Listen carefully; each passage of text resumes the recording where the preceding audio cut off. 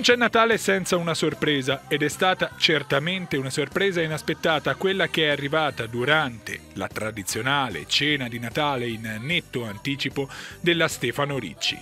Il patron in persona con un videomessaggio ha annunciato il suo passo indietro. L'intera azienda passa adesso nelle mani dei figli Niccolò e Filippo.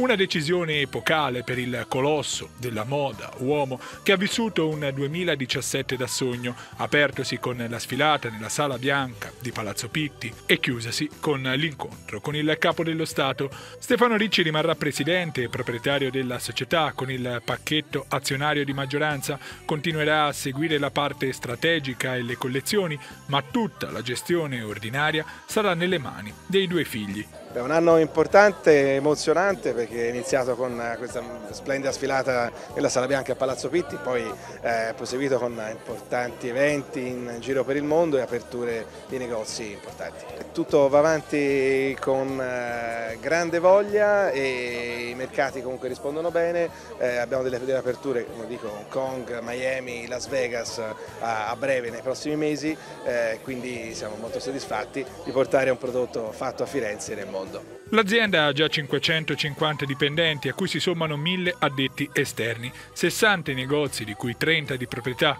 e in occasione della festa di Natale i figli di Stefano Ricci, Niccolò e Filippo hanno annunciato che verranno aperte il prossimo anno altre 6 boutique in giro per il mondo.